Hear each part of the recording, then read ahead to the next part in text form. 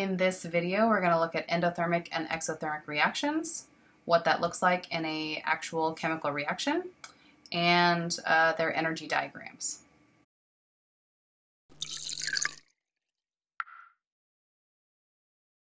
So endothermic and exothermic reactions, right? It's just another way to classify types of chemical reactions that we have happen. And all that it means an endothermic reaction is a reaction that needs more heat to react than it gives off, okay? Which means heat is a reactant,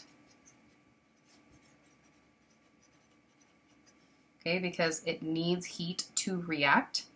It needs more heat to react than it gives off. Heat is a reactant, and that means it feels cold. Okay. A good example of this, um, which everyone always gets wrong, is ice melting.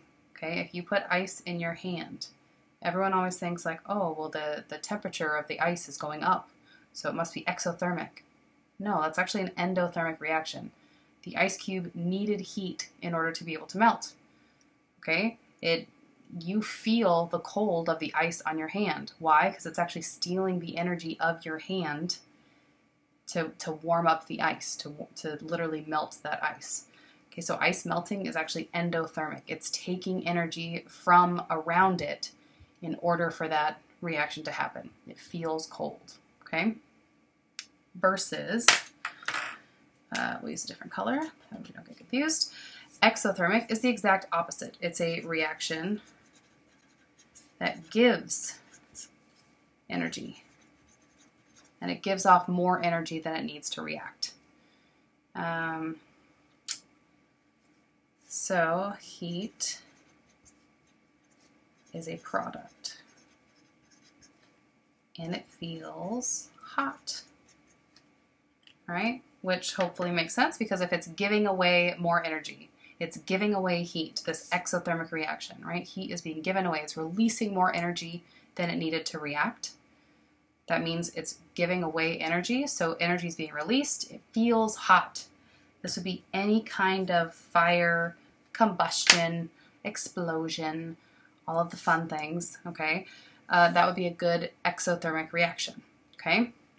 And if any of you have had those like either hot packs or ice packs, you know, you go to the doctor's office and you sprain your ankle or something, they take a little pack out and they crack it, and then all of a sudden it gets cold really, really quickly, right?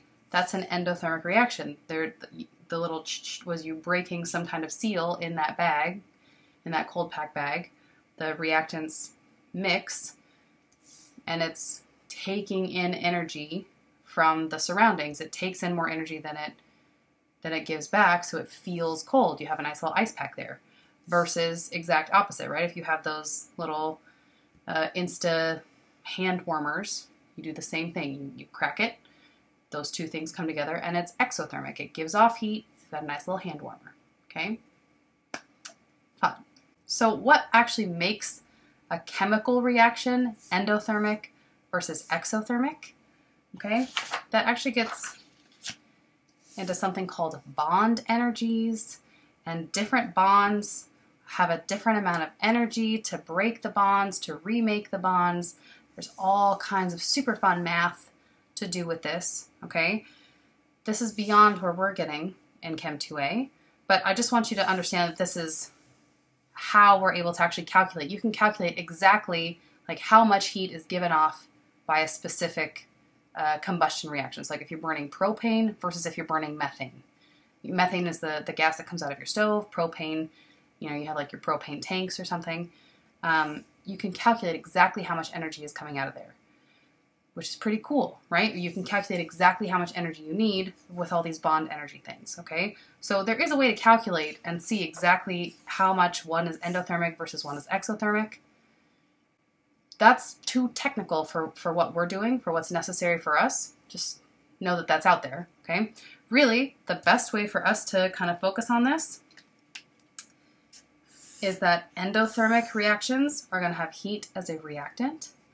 Exothermic will have heat as a product. Okay, so we'll look at what that actually is in a chemical reaction. Okay, so if we had nitrogen plus hydrogen gas making ammonia, and we balanced our chemical reaction. There's only one nitrogen, okay? This gives off heat. This is exothermic. So I just have plus heat over here, like it's a product, right? I have nitrogen and hydrogen gas combining and making ammonia and heat. It gives off heat. This is exothermic. And literally this is how we will write it out. Okay, so you have plus heat as a product versus, so you have heat plus carbon dioxide is going to decompose to carbon monoxide and oxygen gas. Okay, you can see that heat is needed for this reaction to even happen, right? I have to have heat as a reactant in order for this thing to go forward. So that means that this is endothermic.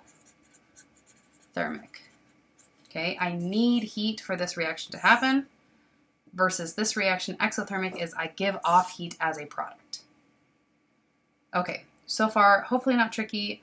Now we look at what are called energy diagrams.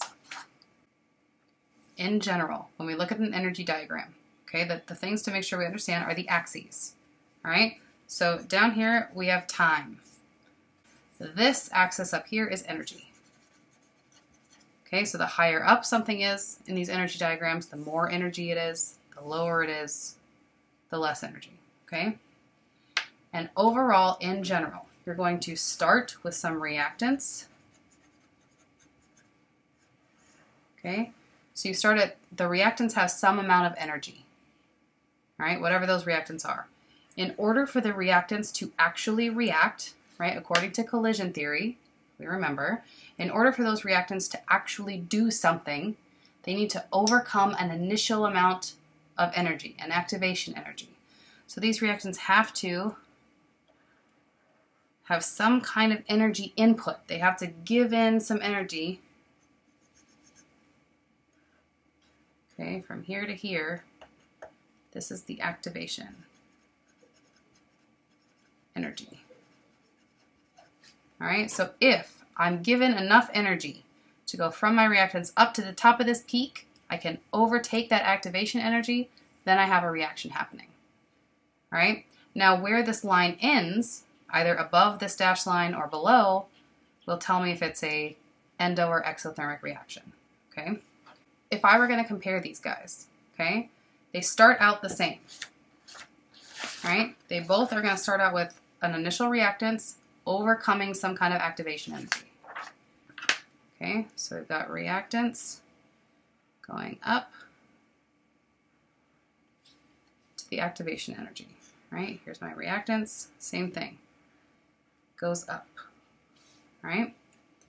And I always think for drawing out your energy diagrams, it's really useful to just wherever your reactants are, you can use a different color, just make a dashed line across. Make a nice horizontal line across. That way you can kind of think to yourself and figure out what's going on. Okay? If I had an endothermic reaction, that reaction needs more energy than it gives back. Okay? So if this was an endothermic reaction, I needed this much energy, however this much is, right? To go from this dashed line up to the top here. Right? This is my activation energy. So when I come down, I'm not going to give back as much energy as I gave in. So that means my line coming down is going to be above where I started. Okay, it's going to be above that dashed line. This would be reactants. This would be my products. This is your energy diagram for an endothermic. Okay, an endothermic reaction because my reactants needed more energy to react than they gave back.